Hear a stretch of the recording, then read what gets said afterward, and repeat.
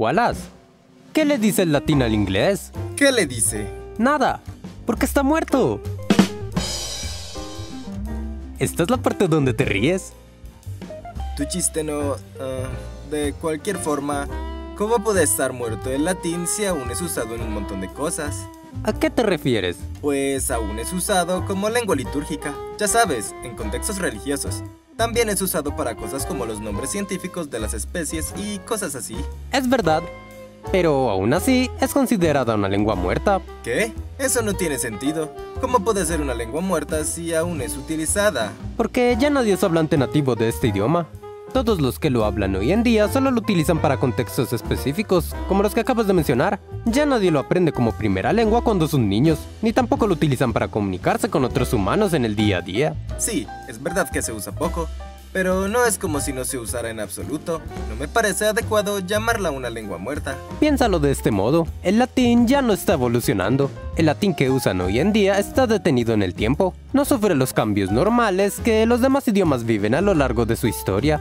De hecho, ese es uno de los motivos por los que aún es usada en algunos contextos, porque se garantiza que el significado de las palabras se mantiene estable a lo largo de los tiempos. Mm, supongo que tiene un poco más de sentido viéndolo así. Así es. Lo que ocurre es que el término lengua muerta se presta para malentendidos. Es fácil pensar que se refiere a un idioma que ya no existe, que ya ningún humano es capaz de hablar ese idioma, ni siquiera como segunda lengua. Pues eso es lo que pensé. Me parecía la definición más lógica para lengua muerta. Pero la verdad es que existe otra palabra para referirse a estos idiomas. Lengua extinta. Entonces sí han existido idiomas que se han extinto por completo. Ya lo creo. Han existido demasiados. ¿Como cuáles? Como el Akakari, el Wichita, el Klayam, el Holikachuk, el Akakora, Vaya, el son muchos el idiomas. El Eyak, el Jabindo, el Osage, el Unami, el Gunay, el Catabanga, el Casabe, el Andoa, el Guariapano, el Cheddar. Bororra, el Kamasian, el Lawa, el Yugambal, el Bishuo, el Warman, el Kansa, el Tuana, el Chicomuseltec, el Cuadza, el. Mans, el Natchez, el Wiyot, el Salinan, el Pijao, el Gafat, el Miluk, el Narunga, el Akakede, el Mutzan, el Kitsai. ¡Cheddar! ¿Qué? Ya entendí. Son demasiados para siquiera mencionarlos. Ya lo creo. Como vimos en un video anterior, existen más de 7000 idiomas en el mundo. La mayoría de estos son hablados por muy pocas personas y corren el peligro de desaparecer. Se estima que en el mundo desaparece un idioma cada dos semanas. ¿En serio? ¿Dos semanas? Esos son demasiados idiomas en muy poco tiempo. Así es, la extinción es una amenaza seria para la mayoría de los idiomas del mundo. Un estimado de 2004 dice que para el año 2005 ya se habrán extinto un 90% de los idiomas que existen. Changos. Esas son malas noticias. Los idiomas dicen mucho sobre la forma de ver el mundo de las comunidades que lo hablan. Imagina todo lo que se está perdiendo cuando se extingue un idioma. Exactamente. Estoy seguro que muchos de esos idiomas extintos representan visiones del mundo muy interesantes. Oye, pero ¿qué ocurre? ¿Por qué se extinguen tantos idiomas? ¿Qué causa la muerte de un idioma? Existen varios motivos, pero el más común es conocido como muerte gradual. O sea que el idioma muere de a poco. Exactamente. Ocurre cuando un idioma menor es reemplazado lentamente por un idioma dominante. Hmm. Como por ejemplo ocurre con muchas lenguas indígenas en América. Exactamente. Es común que comunidades indígenas con su propio idioma empiecen a usarlo cada vez menos. Y en su lugar empiecen a usar más el idioma dominante de su país, como el español. Porque este tiene mayor prestigio y les abre más puertas a más oportunidades. Entonces, cada vez menos humanos le enseñan su propio idioma a sus hijos, ¿no? Así es. Las nuevas generaciones hablarán cada vez menos su propio idioma. Llega un punto en el que las únicas personas que conocen el idioma de esa comunidad son los más ancianos, y cuando finalmente muere el último humano que lo conocía, muere también el idioma. Vaya, es una lástima, pero parece ser un proceso normal. Digo, si los humanos dejan de ver ventajas en hablar su propio idioma, es de esperarse que dejen de hablarlo. Así es. Sin embargo, esa no es la única forma en que un idioma muere. Hay otras más drásticas. ¿Cómo cuáles? A una de ellas se le conoce como muerte radical de un idioma. Ocurre cuando una comunidad que habla el idioma en cuestión deja de usarlo de manera abrupta. Pero, ¿por qué harían eso? Puede ocurrir por cosas como presión política, o directamente que sus idiomas sean prohibidos por algún gobierno. Entonces, a modo de mecanismo de supervivencia, estos humanos prefieren dejar de hablar estos idiomas porque, de lo contrario, corren peligro. Ay, estos humanos. Otra forma repentina en que muere un idioma es conocida como muerte súbita de un idioma. Es cuando los hablantes de un idioma mueren de manera abrupta. ¿Qué? ¿Esto ha ocurrido? Así es. Un ejemplo de esto fueron los habitantes nativos de la isla de Tasmania, que fueron erradicados casi por completo durante la Guerra Negra contra los colonos británicos. Junto con estos aborígenes murió su idioma. Cielos. Entonces, ¿la muerte súbita de un idioma ocurre siempre en guerras y cosas así? No. Poblaciones enteras pueden desaparecer por otros motivos, como por ejemplo desastres naturales o epidemias de enfermedades. ¿Epidemias? Ya veo. Me imagino que tribus indígenas aisladas son especialmente propensas a este problema, ya que hay muchas enfermedades comunes que no han llegado a sus comunidades y no han desarrollado ninguna defensas contra ellas. Exactamente. Es el caso del idioma arahuá. Este idioma se hablaba en el curso del río Juruá, en la Amazonía brasileña. Este idioma murió en 1877 debido a una epidemia de sarampión. Entiendo. Oye, a todas estas, ¿cómo murió el latín? Es increíble que un idioma tan grande e importante en su época haya muerto. No murió.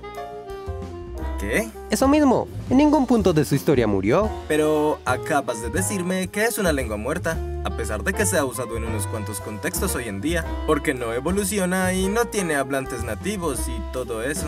Así es. ¿Lo entendiste bien? Es un idioma muerto. ¿De qué rayos hablas? Deja de contradecirte. ¿Es o no es un idioma muerto? Sí, es un idioma muerto, pero nunca murió. Eso no tiene ningún sentido. En el mundo de los idiomas sí que lo tiene. Ya sabes cómo son los humanos. ¿Cómo algo va a estar muerto sin haber muerto nunca? Verás, el latín en realidad nunca dejó de usarse. A lo largo de su historia siempre ha sido usado y evolucionó naturalmente como cualquier otro idioma vivo. No ocurrió nada que hiciera que sus hablantes dejaran de usarlo. Entonces, ¿cómo es posible que hoy sea considerada una lengua muerta? Porque evolucionó tanto que sus diferentes dialectos se convirtieron en otro montón de idiomas diferentes. Oh, ya veo. ¿Te refieres a las lenguas romances? Exactamente. Idiomas como el español, el portugués, el francés, el italiano, el rumano y muchos otros que son el resultado de muchísimos años de evolución de diferentes dialectos del latín vulgar, que es como se le llama el latín que era utilizado en la vida cotidiana por la gente del común. Entonces, es una lengua muerta porque ya ninguno de sus dialectos se considera latín, sino que se consideran un idioma totalmente diferente, por lo cual el latín ya no existe de manera natural, a pesar de que nunca murió. Eso mismo. Espera, entonces me estás diciendo que los humanos tomaron una versión antigua del latín y decidieron seguir usándola como lengua litúrgica para nombres de especies y cosas así? Así es. ¿Eso quiere decir que el latín que se usa hoy día es algo así como un idioma zombie? Lo usan a pesar de estar muerto. Hmm. Me gusta más pensar en el hebreo como idioma zombie. ¿El hebreo? ¿De qué hablas? Si es un idioma vivo hablado por muchos humanos hoy en día, incluso es idioma oficial en Israel. Así es. Hoy en día es un idioma vivo. Pero no siempre fue así. Durante un tiempo fue una lengua muerta, utilizada como lengua litúrgica, al igual que el latín hoy en día. ¿En serio? ¿Quieres decir que el hebreo regresó de la muerte? Exactamente. Y todo gracias a un sujeto llamado Eliezer Ben Yehuda y sus esfuerzos para revitalizar el hebreo. Pero parece una tarea muy difícil de lograr. Digo, ¿cómo macacos convences a un montón de humanos de adoptar una lengua muerta como idioma de uso cotidiano y volverlo idioma oficial de un país? Pues el idioma es una parte esencial de la cultura. No fue fácil al comienzo, pero eventualmente los judíos viviendo en Palestina y también judíos viviendo en otros lugares empezaron a ver la necesidad de tener una lengua común. Y pues el hebreo funcionaba perfectamente para este fin. Vaya, es increíble que haya pasado de ser una lengua muerta a ser un idioma hablado por unos 8 millones de humanos. Ya lo creo. Los humanos hacen cosas increíbles cuando se ponen de acuerdo.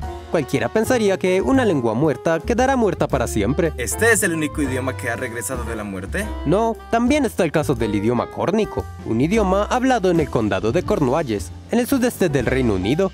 El regreso de este idioma no es un caso tan grande como el del hebreo, pero aún así es sorprendente que logren recuperar un idioma.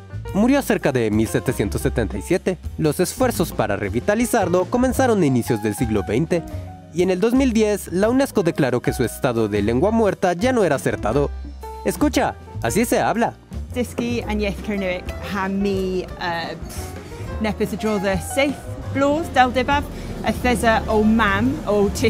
Kernevikin ¿Cuántos humanos lo hablan hoy en día? Aproximadamente unos 3500. Nada mal para un idioma que nadie hablaba hace unos años. Hmm, me pregunto si los humanos revivirán más idiomas en el futuro. No lo sé. Tal vez. Espero que sí. La velocidad con la que están muriendo los idiomas pequeños es alarmante. Al menos es un poco esperanzador pensar que algunos de estos idiomas podrán ser revividos. Ya lo creo. Espero ver más idiomas zombies en el futuro.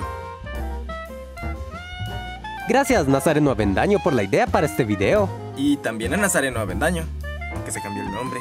Ya mencioné Nazareno Avendaño. ¡Buena idea! ¿Ustedes tienen otras ideas que les gustaría ver en videos? Cuéntanos en los comentarios. Walus, me gustan estos videos. ¿Ah? Los idiomas tienen cosas muy interesantes. ¿Qué haces? Intento revivir el latín. Sabes bien que eso no es latín.